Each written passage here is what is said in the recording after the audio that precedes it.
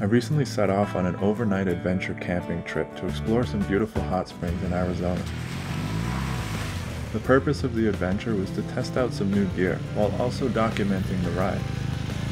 Episode 3 of this four-part series will be focused on my review of my new sleeping bag, the Teton LEEF Zero Degree Mummy Sleeping Bag.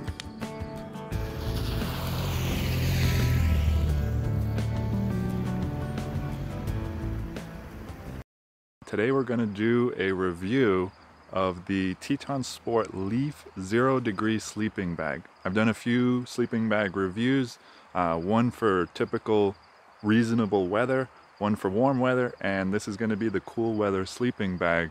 And it's actually the one I'm taking on my six month United States motorcycle trip. Now today we're actually in the middle of a four part series. This is part three uh, of a little couple day ride out to some hot springs. So while we're kind of getting things ready here, I just want to go over a few things about this. The temperature rating on this sleeping bag is 0 degrees Fahrenheit, 18 degrees Celsius, and it packs down to 15 by 9 inches. It's definitely not the smallest sleeping bag I've used for motorcycle camping. However, it is the coldest rated sleeping bag, so the extra size definitely makes sense. So I have this sleeping bag stored in a 30 liter dry bag uh, that did not come with the sleeping bag, but it just makes packing my bike a little bit easier. So it came with a pretty neat stuff sack, but I needed something that I could store on the outside of my motorcycle in all weather. Now, even though I have used this sleeping bag once or twice already, twice, uh, I am going to do an overnight review of this sleeping bag. Um, just give it one more thorough test before I give my opinion on it. However, I will say uh, this thing is super comfortable. The loft on this thing, it just it just fills up and it's just cushy and it's really wonderful. It's very comfortable. Um, it is extremely warm though, so it is not for hot summer nights. I will say that. The weight on this bad boy is 4.2 pounds. Now, just to put this into perspective, I've actually been carrying two sleeping bags all winter anytime I go camping uh, because my old sleeping bag just wasn't warm enough. So I doubled up on it and had two of them. The total weight of that was close to six pounds total.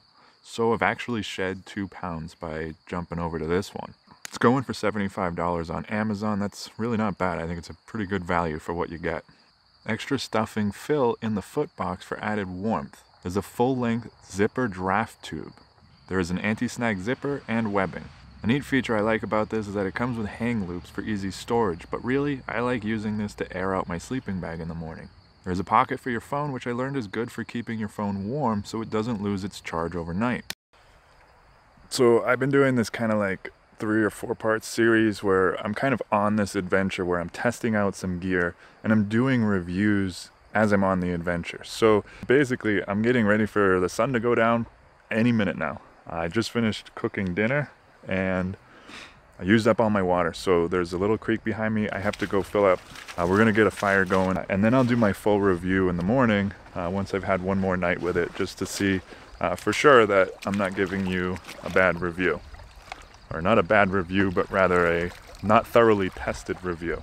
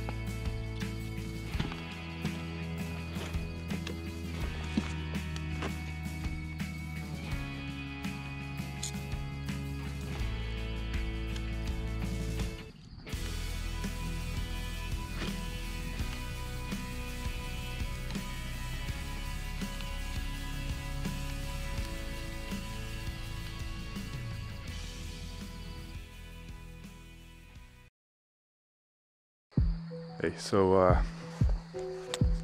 this is pretty scary.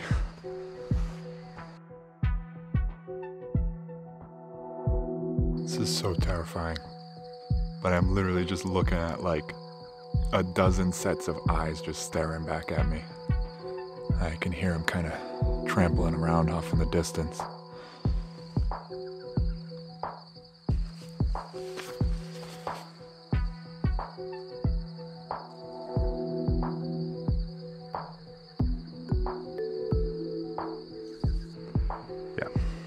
So there's a full-on herd of cows making its way through my campsite right now. This ought to be interesting. Man, it just it caught me off guard because I heard something moving. I didn't realize they were cows right away. Can't believe how comfortable they are just walking over towards me like this. They're all just staring at me.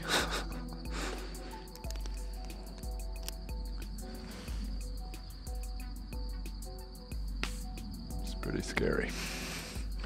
I just don't want to get trampled. I mean, it's not like they're, you know, vicious, scary animals, but they could do some damage. Well, I think I'll just leave them alone, and then uh, hopefully they they take off in a little bit. Okay, little update. Uh, just kind of relaxing around the fire. Uh, pretty peaceful night other than the cows, who seem to be working their way away from me, hopefully. Uh, something tells me that is not the last I am going to see of them. Wow, these stars are amazing.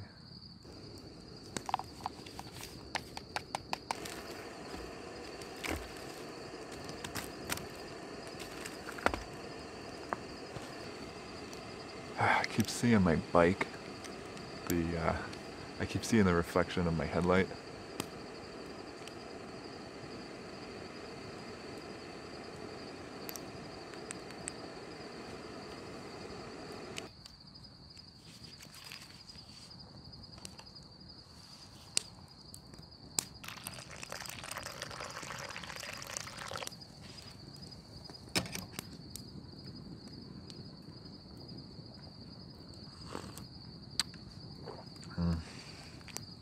Got marshmallows in it.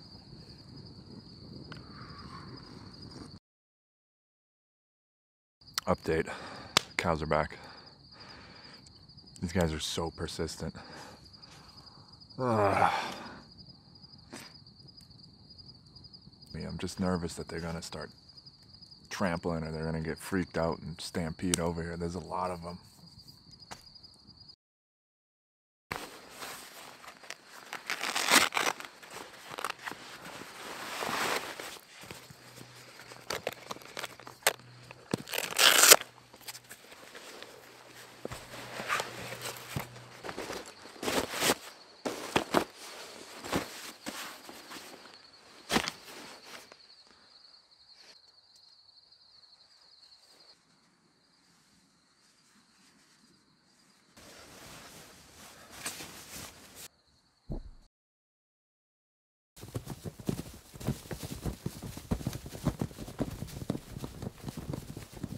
These cows are killing me. They just stampeded right through my campsite. Ugh. That's a heck of a way to wake up in the middle of the night.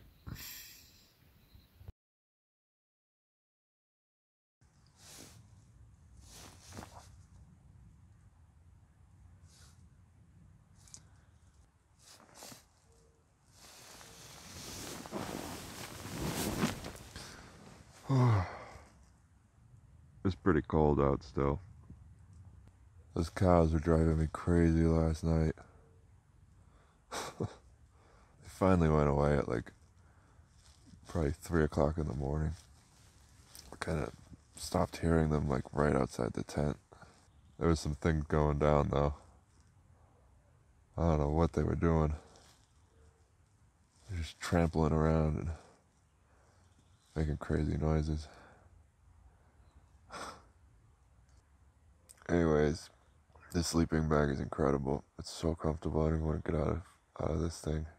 Normally, I have my my sleep in shades on, and I'll sleep like this, um, just so the the sun doesn't wake me up like first thing in the morning, but I had a lot to do today, so I didn't want to sleep in too much. And the sun just came up like maybe 40 minutes ago. I was just kind of excited about the day. I just want to get the bike packed up and hit the road. Still got a pretty decent distance to cover before I get to the hot springs. I need some coffee. Anyways, the sleeping bag is amazing. I got it got chilly last night. I left part of the rainfly open because when I went to sleep, it was pretty warm. I figured let me get some fresh air in here, and uh, that way I can keep an eye on what's going on outside.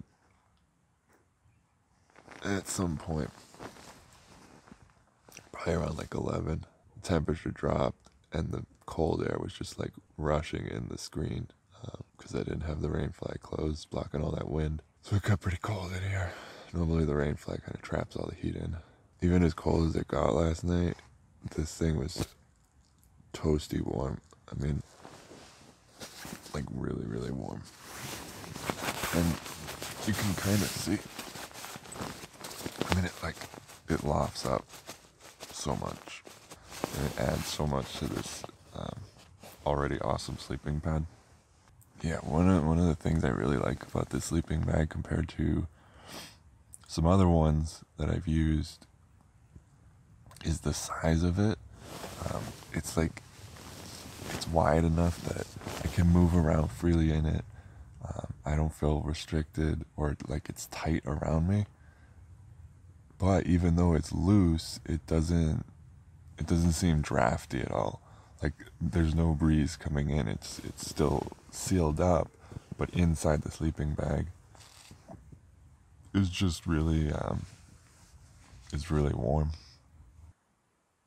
Yeah, I'm I'm really happy with this thing, and uh, the silk liner was great too. I don't know how much this added in terms of warmth. I camped out the other night, uh, maybe two weeks ago, without the silk liner, uh, and it dropped down to about the same temperature, and and I was really very comfortable. Um, this maybe added a tad bit of warmth to the sleeping bag, but not not a significant amount. Uh, the reason I have it is uh, just to keep the sleeping bag clean for longer. It's easier to pull this out and wash it once in a while than it is to wash the whole sleeping bag. Anyways, as much as I want to go back to sleep and stay in the sleeping bag all day, I'm going to uh, brave the cold and hop out of here, go make some coffee, and start getting ready for the day. Uh, that's about it for this video. My overnight camp out and review of the Teton LEEF Zero Degree Sleeping Bag. Uh, it's, it's an awesome sleeping bag if you're going places where it's going to get a little cooler. Um, if you're a taller person uh, with broad shoulders or you're just a little girthier, um, the extra room is really nice. So yeah, I'll leave a link in the description box below if you guys want to check it out. Anyways, if you like this video you got anything out of it, make sure to give it a thumbs up. Don't forget to subscribe and hit the bell if you haven't already. That way you don't miss anything whenever I post something new about motorcycles, camping, travel, and adventure. Thanks for watching, and I'll see you in the next video where hopefully I will be making it out to the hot springs later today in the next video. Alright guys, see you later.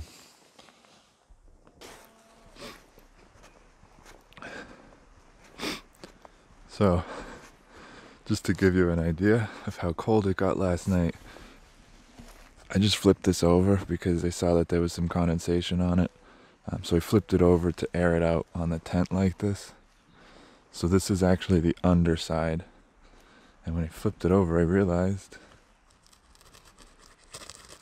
this is all ice.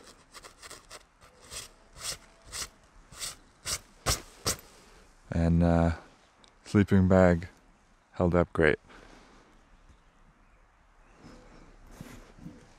Yeah, so it got it got pretty cold last night.